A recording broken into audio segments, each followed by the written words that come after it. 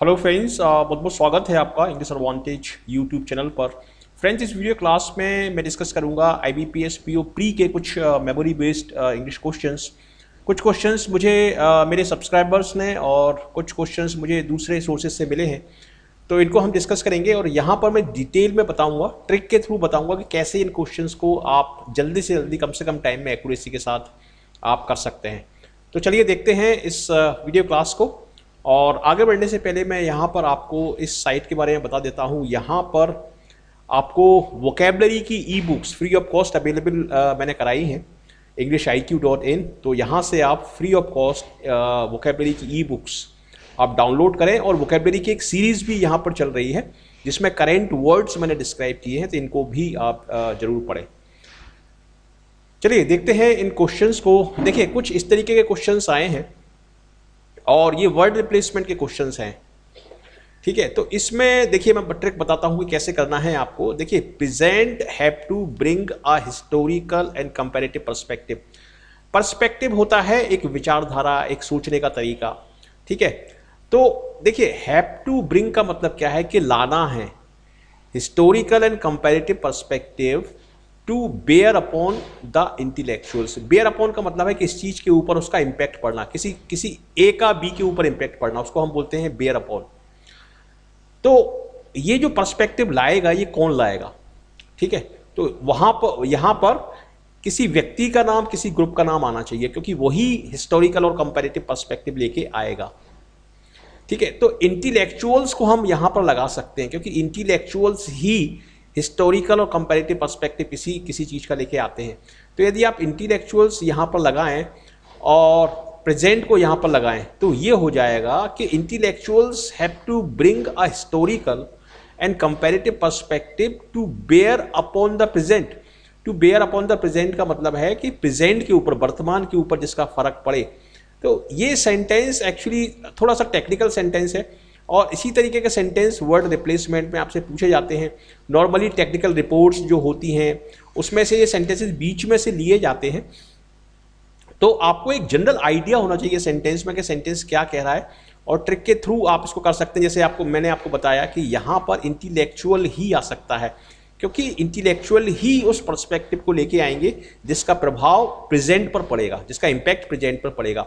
Bear upon का मतलब होता है इम्पैक्ट पड़ना।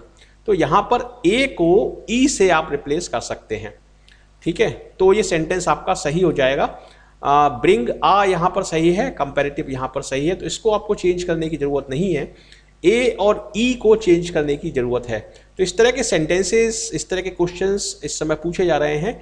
बैंकिंग एग्ज़ाम्स में forthcoming I B P S clerk और सी एग्ज़ाम्स में डेफिनेटली ऐसे क्वेश्चन आ सकते हैं। तो इस पूरे वीडियो क्लास को आप एंड तक देखिए, ध्यान से सारी चीज़ें सुनिए। देखिए, यहाँ पर हम देखते हैं, Mister Abiy persuaded the Oromo Liberation Front. देखिए, परसुएट का मतलब होता है किसी व्यक्ति को कन्विंस करना, मनाना, और परसुएट करने का काम एक व्यक्ति ही करता है। और यहाँ पर हमें यह पता पड़ रहा है कि ये एक व्यक्ति है, क्योंकि यहाँ पर मिस्टर लगा हुआ है। तो परसुएट वर्ड यहाँ पर सही है, क्योंकि परसुएट करने का काम एक व्यक्ति ही करता है। ठीक है तो Mister Abiy persuaded the Oromo Liberation Front to. अब देखिए टू के बाद आप पीस नहीं लगा सकते। मतलब मिस्टर अबे ने परसुएट किया कन्विंस किया, किसको? इसको कन्विंस किया, इस पार्टी को कन्विंस किया, ये काम करने के लिए। यानी यहाँ पर यहाँ पर टू पीस यानी वर्ब की फ़र्स्ट फॉर्म तो चाहिए। पीस तो वर्ब की फ़र्स्ट फॉर्म है। यानी ग्रामेटिकली तो ये वर्ड सही लग रहा है, लेकिन कॉन्टेक्स्ट इसका नहीं बन रहा है। मतलब मिस्टर अवे ने परसुएट किया इस पर्टिकुलर फ्रंट को क्या करने के लिए? तो वो यहाँ पर आना चाहिए। यदि आप यहाँ पर ज्वाइन लगाएँ टू ज्वाइन ठीक है? तो यहाँ पर ज्वाइन एकदम सही होगा और ज्वाइन को जब पीस से आप इंटरचेंज करेंगे तो ज्वाइन वहाँ चला जाएगा और पीस यहाँ आ जाएगा। और पीस देखिए पीस प्रोसेस पीस प्रोसेस जैसे दो लोगों के बीच में बैटल हो रहा है या कोई भी लड़ाई हो रही है, कोई भी डिस्प्यूट चल रहा है तो उसके, उसमें जो पीस करने की जो कोशिश की जाती है, उसको हम बोलते हैं पीस प्रोसेस तो पीस प्रोसेस यहाँ पर ये सही होगा, ठीक है? इसका कॉन्टेक्स्ट यहाँ पर बन जाएगा। और यहाँ पर इसको यदि आप चेंज करते हैं तो फ्रंट टू ज्वाइन तो यहाँ पर भी इसका कॉन्टेक्स्ट बन जाएगा। यानी बी एन सी इसमें आपको चेंज करना पड़ेगा। बी एन सी का ऑप्शन इसमें दिया है। बी एन सी इसका आंसर होगा बी अब इसको यदि चेंज करके पढ़ के देखें तो ये सेंटेंस हो जाएगा Mister Abiy persuaded the Oromo Liberation Front to join a wide ranging peace process with the government with the government सही है। तो यहाँ पर आपका आंसर होगा बी एन सी तो ऐसे इन क्वेश्चंस को आपको करना है। ये ज़रूरी नहीं है कि सारे वर्ड मीनिंग्स आपको पता हो। एक जनरल अंडरस्टैंडिंग हो आपकी इंग्लिश सेक्शन की तो उसके थ्रू आप ये कर सकते हैं। अब हम देखते हैं question number third in Eritrea. देखिए, इस तरह के वर्ड्स एग्जामिनर इसलिए देता है कि स्टूडेंट प्रेशर में आ जाए। ठीक है? देखिए, इसका नाम नहीं सुना, ये किसी कंट्री का, किसी प्लेस का नाम हो सकता है, क्योंकि इन जो है, ये प्लेस के नाम से पहले ही आ सकता है। तो ये किसी कंट्री या किसी प्लेस का नाम है। In Eritrea the dictatorship use the देखिए डिक्टेटरशिप जो होती है, वो क्या होती है? तानाशाही। जैसे हिटलर था। तो डिक्टेटरशिप जो है वर्ड यहाँ पर सही है। द डिक्टेटरशिप यूज्ड तानाशाही ने यूज़ किया किसको? द प्रोलोंग्ड अब देखिए प्रोलोंग्ड क्या है? एक एडजेक्टिव है। प्रोलोंग्ड का मतलब है जो लंबे समय से चला आ रहा है। तो प्रोलोंग चूँकि एडजेक्टिव है तो यहाँ पर एक नाउन होना चाहिए। यानी यहाँ पर एक वर्ड को चेंज करने की ज़रूरत है। अब देखिए, कौन सा वर्ड आ सकता है? चूँकि यहाँ पर कॉन्फ्लिक्ट लिखा हुआ है, इसलिए हम बोल सकते हैं बॉर्डर कॉन्फ्लिक्ट बॉर्डर कॉन्फ्लिक्ट यदि आप यहाँ पर आप बोलेंगे तो ये इसका कॉन्टेक्ट सही हो जाएगा. बॉर्डर का जो इशू होता है, जैसे इंडिया पाकिस्तान का बॉर्डर का इशू चलता रहता है, ठीक है? तो यहाँ पर यदि आप बॉर्डर लगाएँ तो ये सही हो जाएगा बॉर्डर कॉन्फ्लिक्ट और यहाँ पर देखिए repression repression of its critics repression of यदि यहाँ पर ये ऑफ़ लगा दें तो ये सही हो जाएगा। रिप्रेशन ऑफ़ इट्स क्रिटिक्स का मतलब है कि जो क्रिटिक्स हैं, जो आपकी आलोचना कर रहे हैं, ठीक है? उनका रिप्रेशन उनको दबाना, ठीक है? और डिक्टेटरशिप का डिक्टेटरशिप का काम ही होता है कि क्रिटिक्स की आवाज़ को दबाना, तभी तो वो तानाशाह बनता है। तो इसलिए यहाँ पर ऑफ़ एकदम सही होगा, यहाँ पर। बॉर्डर के स्थान पर और ऑफ़ के स्थान पर बॉर्डर आ जाएगा। यानी बी और ई e इसमें एक्सचेंज करने की ज़रूरत है। देखिए बीई दो जगह दिया है, यहाँ पर भी बी दिया है, यहाँ पर भी बी दिया है। तो आपको ए डी बी देखना पड़ेगा। क्या ए डी को भी चेंज करने की ज़रूरत है? यहाँ पर दिया है बीई और ए डी अब ए डी को भी हम देख लेते हैं। In Eritrea the dictatorship conscription and repression ये तो सही है। ए डी नहीं आएगा यहाँ पर, ये कंफ्यूजन के लिए दिया है। इसका आंसर होगा केवल बी एंड ई ये आपका, आपको आपको प्रेशराइज करने के लिए इस तरह के ऑप्शंस दिए जाते हैं कि जैसे यहाँ पर बी दिया है तो यहाँ पर भी बी दे दिया और यहाँ पर फिर ए डी भी दे दिया। लेकिन ए डी इसमें सही है। ए डी इसमें सही है तो एग्जामिनर हर डायमेंशन से आपकी नॉलेज को, आपकी एक्सपर्टीज को, आपकी स्किल्स को चेक करता है। ठीक है? तो इसमें आंसर हो जाएगा आपका सी चलिए नेक्स्ट क्वेश्चन देखते हैं। इंडिया ऑफन एन चाइना देखिए चाइना से पहले यहाँ पर एन नहीं आएगा। यानी यहाँ पर आप यानी इसको आपको चेंज करना पड़ेगा। ठीक है? इंडिया ऑफन चाइना थ्रू देखिए थ्रू का थ्रू का यूज़ हम तब करते हैं जब हम किसी व्यक्ति या वस्तु को देखते हैं तो लुक या सी वर्ड आना चाहिए यहाँ पर। सी थ्रू जैसे होता है। ठीक है? तो सी इसमें दिया है तो सी इसमें आ, हम यहाँ पर लगा देंगे और आ, और देखिए सी जब यहाँ पर आएगा तो एन यहाँ पर आ जाएगा और एन यहाँ पर इसलिए फिट हो जाएगा क्योंकि ये बॉबल साउंड दी है यहाँ पर अमेरिकन दिया है। तो इसलिए एन यहाँ पर आपका फिट हो जाएगा और सी सी के साथ ये थ्रू वर्ड चला जाएगा। तो डेफिनेटली इसमें ए और डी को आपको चेंज करना पड़ेगा। अब देखिए ए और डी यहाँ पर नहीं है, यहाँ पर नहीं है, यहाँ पर नहीं है ए और डी का ऑप्शन केवल और केवल यहाँ पर है। अब ए डी अगर चेंज होगा तो फिर बी ई भी चेंज होगा, ठीक है? लेकिन देखते हैं इसको पढ़ के India often C China through the हा। इंडिया चाइना को देखता है किसके द्वारा? प्रिज्म के द्वारा। प्रिज्म के द्वारा हम किसी व्यक्ति को देखते हैं तो प्रिज्म यहाँ पर आ जाएगा और यहाँ पर आ जाएगा of of Indian action American role of Indian action तो ऑफ़ भी यहाँ पर सही हो जाएगा और यहाँ पर प्रिज्म सही हो जाएगा। तो इसका आंसर जो होगा, वो होगा आपका डी ठीक है? डी इसका आंसर आपका होगा। आई होप आपको अच्छे तरीके से समझ में आया। कभी कभी ये काफ़ी कॉम्प्लिकेटेड रहते हैं। तो इस तरीके से इन क्वेश्चंस को आपको करना है। मैंने इसमें पंद्रह क्वेश्चन लिए हैं। सारे पंद्रह क्वेश्चंस का डिस्कशन आप पूरा अच्छा अच्छा देखिए आराम से, ताकि फोर्थ कमी जो भी एग्ज़ाम्स हैं, उनमें आपको काफ़ी हेल्प मिले। अब हम यहाँ पर देखते हैं। Very significant tax shortfalls are likely even very significant tax shortfalls. Tax के शॉर्ट, शॉर्टफॉल की बात हो रही है और जो टैक्स शॉर्टफॉल है वो सिग्निफिकेंट हो सकता है। तो ये वर्ड तो सही है यहाँ पर। Are likely even in the current year unless the government takes, unless वाले पार्ट में हम प्रेजेंट सिंपल टेंस का यूज़ करते हैं तो टेक्स प्रोएक्टिव मेजर्स। तो इस पूरे सेंटेंस में किसी भी रिप्लेसमेंट की ज़रूरत नहीं है। ठीक है? तो यहाँ पर इसका आंसर होगा E. Very significant tax shortfalls are likely even in the current years मतलब टैक्स शॉर्टफॉल्स लाइकली हैं, संभावित हैं, इस साल भी even in the current year मतलब इस साल भी। Unless the government takes proactive measure जब तक गवर्नमेंट प्रोएक्टिव मेजर्स नहीं लेती प्रोएक्टिव उपाय नहीं करती सिग्निफिकेंट टैक्स शॉर्टफॉल्स लाइकली हैं, संभावित हैं, ऐसा हो सकता है। तो ये सेंटेंस सही है, ठीक है? नेक्स्ट क्वेश्चन देखते हैं। अब देखिए, ये फिलप्स के कुछ क्वेश्चन हैं। सिंपल इसमें आपको कुछ नहीं करना है सिंपल लॉजिक लगाना है। यहाँ पर ए लगा हुआ है।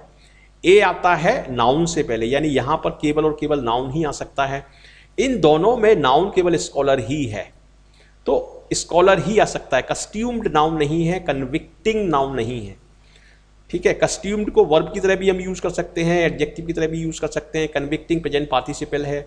तो स्कॉलर ही नाउन है, इसमें आंसर होगा ओनली ए आपको ज़रूरी नहीं है पूरा सेंटेंस पढ़ें और उसका मतलब निकालें, केवल लॉजिक से इस तरह के सेंटेंसेस को आप कर सकते हैं। अब देखिए, यहाँ पर देखिए earlier this year at least five lakh twenty two thousand Ethiopians were by ethnic conflict ethnic conflict क्या होता है? जो ग्रुप्स होते हैं ग्रुप्स में लड़ाई हो जाती है कॉन्फ्लिक्ट डिस्प्यूट हो जाता है। उसकी वजह से एक एक कैटेगरी को या एक ग्रुप को दूसरी जगह जाना पड़ता है। इसको हम बोलते हैं डिस्प्लेसमेंट एक जगह से हटके दूसरी जगह जाना, उसको हम बोलते हैं डिस्प्लेसमेंट मिसप्लेस अलग चीज़ होती है। मिसप्लेस का मतलब होता है किसी चीज़ का खो जाना। तो यहाँ पर डिस्प्लेस्ड ही आ सकता है। डिसमेंटल का मतलब तो टुकड़ों को अलग, जैसे कोई डिवाइस है, उसको अलग अलग कर देना तो डिसमेंटल तो नहीं आएगा डिसरिगार्ड भी नहीं आएगा। केबल और केबल डिस्प्लेस ही आ सकता है। इसमें आंसर होगा ओनली बी ठीक है? तो सिंपल क्वेश्चंस हैं, ज़्यादा कठिन क्वेश्चंस नहीं है रीडिंग बेस्ड क्वेश्चंस हैं। इसलिए बैंकिंग एग्ज़ाम्स में यदि आप निकलना चाहते हैं तो रीडिंग आप रेगुलर बेसिस पर करिए। क्वेश्चन एट देखते हैं अकी देखिए ए क्या है? एक आर्टिकल है। अ की जैसे जैसे बोलते हैं अकी पॉइंट अ की इशू ठीक है? तो की एक एडजेक्टिव की तरह यहाँ पर काम कर रहा है, यानी यहाँ पर आपको एक नाउन चाहिए। जैसे मैंने अभी बताया कि अ की पॉइंट या की इशू तो यहाँ पर नाउन चाहिए आपको, और नाउन केवल टेस्ट है। बाकी ये नाउन नहीं है कंजॉइंड ईडी लगा है। ईडी तो वर्ब में लगता है तो ये नाउन नहीं है, इसमें भी ईडी लगा है, ये वर्ब में लगता है। यानी केवल और केवल सी ही इसमें आंसर हो सकता है सी इसका आंसर होगा। और बिना पूरा सेंटेंस पढ़े मैंने इसका आंसर आपको निकाल के दिया है। ऐसे इन क्वेश्चंस को आपको करना है। क्वेश्चन नंबर नाइन देखते हैं. Another concern is about the formula to be used to to आ गया यहाँ पर. यहाँ पर आ गया टू तो इसका मतलब क्या है कि यहाँ पर वर्ब की फ़र्स्ट फॉर्म चाहिए आपको, क्योंकि ये टू लगा हुआ है. और वर्ब की फ़र्स्ट फॉर्म है केबल डिस्ट्रीब्यूट अनप्रोडक्टिव तो एडजेक्टिव है एक्यूजेशन नाउन है. वर्ब केबल डिस्ट्रीब्यूट है. केबल डिस्ट्रीब्यूट ही आ सकता है, यहाँ पर आंसर होगा ओनली ए ठीक है? चलिए, आगे देखते हैं question number ten. The government is currently ineffective in battling both economic and declining tax revenue देखिए इकोनॉमिक क्या है? एडजेक्टिव है। यानी यहाँ पर आपको नाउन चाहिए, क्योंकि नाउन को मॉडिफाई करता है एडजेक्टिव और यहाँ पर भी देखिए टैक्स रेवेन्यू नाउन के फॉर्म में लिखे हुए हैं और इस नाउन को मॉडिफाई कर रहा है ये डिक्लाइनिंग टैक्स रेवेन्यू कैसे है? डिक्लाइनिंग है। नीचे जा रहे हैं टैक्स रेवेन्यू तो यहाँ पर इकोनॉमिक के बगल में यहाँ पर आपको एक नाउन चाहिए और नाउन है इसमें slow down uphold actually uphold का मतलब होता है मेंटेन करना। अप होल्ड में नॉर्मली एस लगता नहीं है। कंडेम्ड ये ईडी लगा हुआ है, ये वर्ब है तो ये दोनों इसमें नहीं आएँगे। इसमें आंसर केबल और केबल सी ही हो सकता है। आंसर होगा C that is only C इस तरह के क्वेश्चंस में आप 100 परसेंट आप स्कोर कर सकते हैं बैंक पी प्री एग्ज़ाम में। क्वेश्चन नंबर इलेवन देखते हैं। ये यहाँ से स्पॉट इनर के क्वेश्चन शुरू हो गए। और द बिगेस्ट प्रॉब्लम आर देखिए बिगेस्ट का मतलब है सबसे बड़ी। और किसी भी ग्रुप में सबसे बड़ी या सबसे छोटी केवल और केवल एक ही चीज़ हो सकती है। ठीक है? इसलिए बिगेस्ट प्रॉब्लम जो होगी वो एक ही होगी, इसलिए आर नहीं आ सकता। इसका आंसर क्या होगा? ए बाकी पूरा सेंटेंस पढ़ने की ज़रूरत नहीं है, जैसे ही आपको याद मिलती है। आप आंसर लगा देते हैं वहाँ पर और उसके बाद आप आगे बढ़ सकते हैं। और ये है एक sure success formula, sure success secret. पूरा क्वेश्चन आपको नहीं पढ़ना है, मीनिंग से आपको कोई मतलब नहीं है, केवल लॉजिक और ट्रिक को अप्लाई करना है। एग्जामिनर केवल आपसे आंसर पूछ रहा है कि किस पार्ट में आंसर है। एग्जामिनर आपसे एक्सप्लेनेशन नहीं पूछ रहा है। इस चीज़ को आप ध्यान से, ध्यान रखिए इस चीज़ का। क्वेश्चन ट्वेल्व देखिए देखते हैं। Today the political battle ground that constitutes constitute तो सही है क्योंकि ये बैटल ग्राउंड के साथ लगा हुआ है तो ये सिंगुलर है। सही है are words is is consolidate नहीं होगा। क्योंकि देखिए इज़ एम आर के बाद थर्ड फॉर्म जब हम लगाते हैं तो वो पैसे वॉइस कंस्ट्रक्शन होता है। यहाँ पर इज़ एम आर लगा हुआ है तो ये कंसोलिडेट नहीं होगा, ये होगा आपका कंसोलिडेटेड ये। और ये पार्ट किसमें है? बी में है। तो आंसर हो जाएगा इसका। बी ठीक है? Is consolidated it is consolidated they are consolidated इस तरीके से. इट इज़ कंसोलिडेटेड कंसोलिडेटेड मतलब उसको स्ट्रेंथन करना। क्वेश्चन नंबर थर्टीन देखते हैं। Being a Nobel peace prize winner he should come up with a national action plan to resettles नहीं होगा। टू के बाद वर्ब की फ़र्स्ट फॉर्म आती है। एस नहीं लगता इसमें। ये गलत हो गया आपका। सी आंसर होगा। ठीक है? आगे देखते हैं। With the country set to go to elections next year, many fear that violence could escalate. इस सेंटेंस का मतलब मैं आपको बताता हूँ। With the country set to go to election next year चूँकि कंट्री सेट है चूँकि कंट्री तैयार है इलेक्शन प्रोसेस में जाने के लिए अगले साल मैनी फियर काफ़ी सारे लोग डरते हैं दैट वायलेंस कुड एस्केलेट कि वायलेंस बढ़ सकता है। देखिए, यहाँ पर कुड और कैन दोनों ही आ सकते हैं, दोनों ही सही होंगे। कैन यदि आप लगाएँगे तो इसका मतलब ये होगा कि स्पीकर जो है इस सेंटेंस का, वो ये बोल रहा है कि वायलेंस के एस्केलेशन के काफ़ी ज़्यादा चांसेस हैं। कुड में थोड़ा सा पॉसिबिलिटी ये वीक पॉसिबिलिटी के लिए आता है, कैन स्ट्रांग पॉसिबिलिटी के लिए आता है, लेकिन होते दोनों ही सही हैं। और दोनों को ही आप प्रेजेंट टेंस में लगा सकते हैं। एग्जामिनर ने इस कुड को आपको कंफ्यूज करने के लिए यहाँ पर दिया है, लेकिन ये सेंटेंस जो है, ये सही है, इसमें कोई एरर नहीं है। मैनी के साथ यहाँ पे फियर ही आएगा, क्योंकि मैनी प्लूरल है तो फियर में एस नहीं लगेगा, ये सही है। ठीक है? तो ये सेंटेंस सही है। देखिए, कुछ होते हैं सेंटेंस स्ट्रक्चर्स सेंटेंस पैटर्न जिनको बोलते हैं। और यहाँ पर एग्जामिनर कहीं ना कहीं आपका सेंटेंस स्ट्रक्चर या सेंटेंस पैटर्न की जो नॉलेज है, उसको चेक कर रहा है। और सेंटेंस पैटर्न की जो नॉलेज होती है, वो आती है रीडिंग से। इसलिए रीडिंग करना बहुत ज़्यादा ज़रूरी है। तो इसमें आपका आंसर हो जाएगा E that is no error अब आप देख सकते हैं क्या ये क्वेश्चन आपको कठिन लग रहे हैं। बिल्कुल सरल क्वेश्चन हैं। हंड्रेड परसेंट तक इसमें आप स्कोर कर सकते हैं। अब आप मेंस का इशू है कि मेंस में क्वेश्चंस नहीं होते हैं, लेकिन मेंस में आप एक चीज़ देखिए कि मेंस में आपको टाइम ज़्यादा मिलता है। एक मिनट से ज़्यादा का टाइम मिलता है एक क्वेश्चन को करने में, और उसका वेटेज भी ज़्यादा होता है। तो मेंस में भी आप आसानी से कर सकते हैं। मेंस का कट ऑफ़ बहुत कम जाता है। मेंस को भी आप आसानी से आप निकाल सकते हैं। क्वेश्चन नंबर फिफ्टीन देखते हैं. The Indian government has proposed in a white paper that it could नहीं नहीं. कुड के साथ वर्ब की फ़र्स्ट फॉर्म आएगी. कुड के साथ. I can go he could go I should go ठीक है? कुड के साथ could should may might must इन सभी के साथ फ़र्स्ट फॉर्म आती है, लेकिन यहाँ पर फ़र्स्ट फॉर्म नहीं है. तो ये इसमें गलती है. सी पार्ट में इसमें गलती है. The Indian government has proposed in a white paper that it could bring unilateral initiative for digital companies. सी इसमें आपका सही आंसर होगा। तो इस तरीके से ये 15 क्वेश्चंस मैंने एक्सप्लेन किए हैं। आई होप आपको पसंद आए होंगे। और मैं कोशिश कर रहा हूँ कि मैं इंग्लिश टू इंग्लिश भी आपको एक्सप्लेन करूँ, क्योंकि काफ़ी सारे स्टूडेंट्स ऐसे हैं जो इंग्लिश टू इंग्लिश ही समझते हैं। तो एक वीडियो हिंदी में रहेगा और एक वीडियो इंग्लिश में रहेगा। मैं कोशिश करूँगा कि इंग्लिश सेक्शन के वीडियो क्लासेस को मैं इंग्लिश में एक्सप्लेन करूँ। मतलब हिंदी में भी एक्सप्लेन करूँ और इंग्लिश सेक्शन में जो एक्सप्लेनेशन हो, उसका एक अलग वीडियो बनाऊँ। तो इस बारे में आपकी क्या राय है, ये मुझे ज़रूर बताएँ। और इस चैनल को आप सब्सक्राइब ज़रूर करें। English I Q dot in इस वेबसाइट पर आप ज़रूर जाएँ। यहाँ पर एक वोकेबरी की सीरीज़ चल रही है। यहाँ से आप फ्री ई बुक्स भी आप काफ़ी सारी डाउनलोड कर सकते हैं। इसका लिंक मैं नीचे डिस्क्रिप्शन बॉक्स में दे दूँगा। वहाँ से इन ई बुक्स को आप फ्री ऑफ़ कॉस्ट डाउनलोड कर सकते हैं।